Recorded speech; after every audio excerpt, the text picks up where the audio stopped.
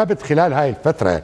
دكتور إلى الحد الذي البعض اعتقد وقالها علنا أنه من خلال التعديلات التي حصلت أو المشاكسات أو الخلافات التي حصلت في التعديلات على الموازنة ظهور جيل برلماني مشاكس تمرد حتى على زعاماته. وهذا بدأ واضحا بتصريح هذه الزعامات إلى الحد التي أخذت الموازنة وغيرت بما ترتئي تعتقد نحن أمام ظهور جيل جديد ممكن أن يشكل شيء أم إنها لا مجرد اعتقادات لا ترتقي إلى الحقيقة؟ لا بالتأكيد هذه جزء من لعبة مسرحية لا أكثر ولا أقل. بمعنى لولا موافقة الكبار على ما جرى في اللجنة المالية لما تجرأ هؤلاء على القيام بما قاموا به بهذه البساطة.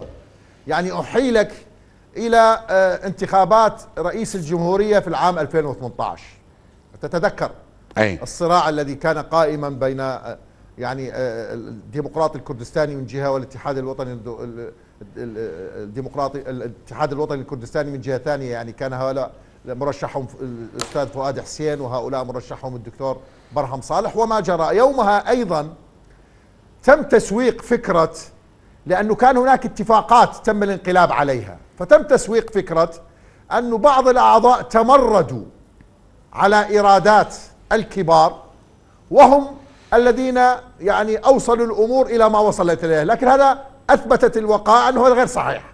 ما جرى أيضا كان لعبة مسرحية متفق عليها بمعنى الكبار يصرحون بخطابات ويتفقون اتفاقات و يعني يوعزون للآخرين بتخريب هذه الاتفاقات. هذا منهج اعتدنا عليه في الدولة العراقية يعني ليس منهجا جديدا يعني. وبالتالي لا تعول على ما جرى في اللجنة المالية. ستجد هؤلاء بقضية. مطيعين ومنصاعين تماما لإرادات الكبار. أنا